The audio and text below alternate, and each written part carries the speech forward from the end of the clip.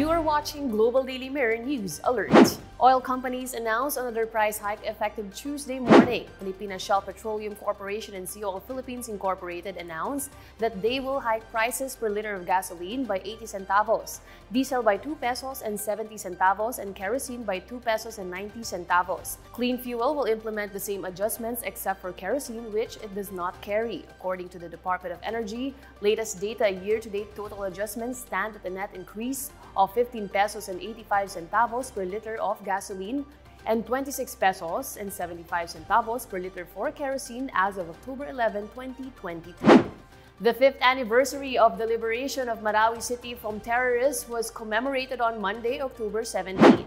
A wreath-laying ceremony was held at the Marawi Pylon at the Libingan ng mga Bayani in Taguig City. The commemoration was led by Presidential Advisor on Peace and Reconciliation and Unity, Secretary Carlito Galvez Jr.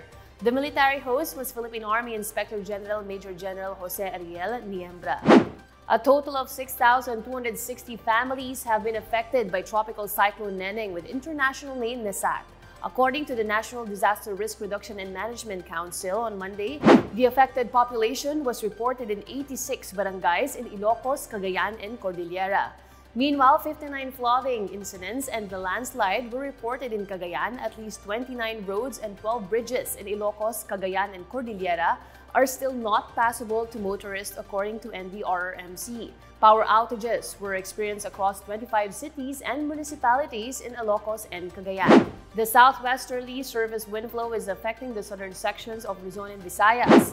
According to Pag-asa, Occidental Mindoro, Palawan, and Western Visayas will have cloudy skies with scattered rain showers and thunderstorms. Meanwhile, the track of Typhoon Nesat, formerly Neneng, is still affecting northern Luzon. Pag-asa says Ilocos Norte, Ilocos Sur will have cloudy skies with scattered rain showers and thunderstorms. Typhoon Nesat was last located 430 kilometers west of extreme northern Luzon.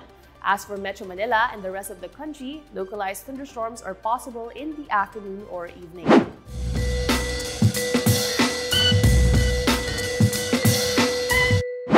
Netizens can't get enough of Michael V and his children's photo.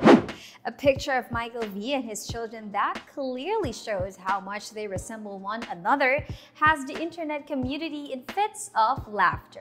Bitoy originally shared the image on his Instagram account in June, where he was pictured next to his twin-looking children, Milo and Yanni.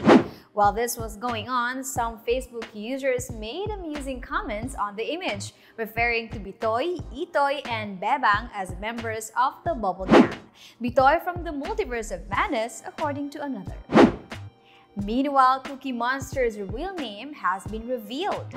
Are you curious about Cookie Monster's real name? The well-known Sesame Street cookie-eating mascot revealed his real name on Twitter, which is Sid. His real name was initially made public in 2004 song The First Time Me Eat Cookie from Sesame Street. Is Cookie Monster's real name Sid? This was one of the questions that the Sesame Street cast addressed in an interview that appeared on Wired in 2017.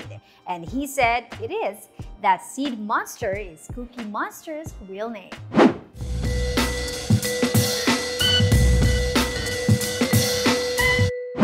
And that's the latest for this hour. Subscribe to our YouTube, Facebook, and Instagram and visit www.globaldailymirror.com. This has been Ice Martinez. Good day.